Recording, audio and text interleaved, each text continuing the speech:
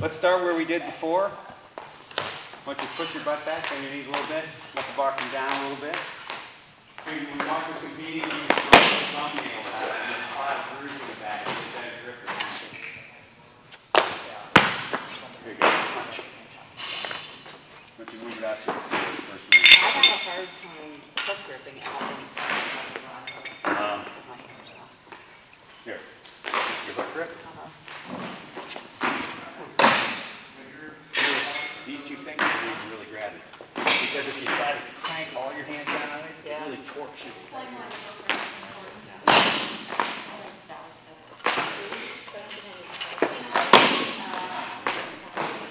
up fast and hold it. You see, see how the ball, don't hold this angle, close that angle as you're standing up. What you're doing is standing up and leaving the bar like this. There you go. Close that angle down as you stand up. That's it.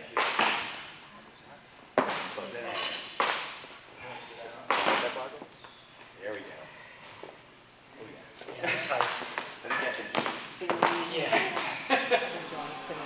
Oh, I'm looking forward to my titanium.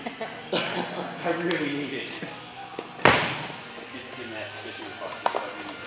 Push this back. Now, just Stand up slowly, and see this angle here between your body and your mm-hmm. arm? This angle, I want you to close that as you stand up. Backwards, the pressure in his foot's going from the middle to his heel. Shins are vertical, and he's ready to drive up on the bar.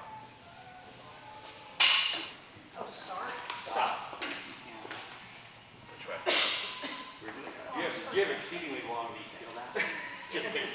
Should I be tighter?